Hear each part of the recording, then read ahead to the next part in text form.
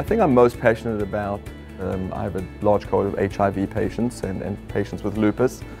somewhat different diseases, but um, the focus on, on trying to really be an expert in those areas is sort of a, a passion of mine. Um, I think I'm also passionate about really just helping um, the patients and, and really my, my colleagues and students and feeling part of a team. I really enjoy that part of medicine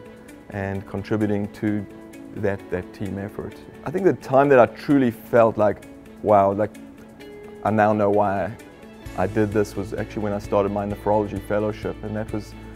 even though I knew I was always going to be a doctor, that was the point where I felt this is really what I, I want to be doing. There's so many good physicians, great physicians here and I, I could name you 20 people that I would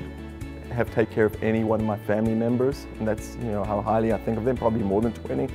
So to be sort of considered amongst that group of people um, is, is, is, just so very humbling and, and a great honor. And it, it's, it's interesting because it's made me reflect a little bit on, on my own practice and I think that to, I always almost feel like I have to live up to this now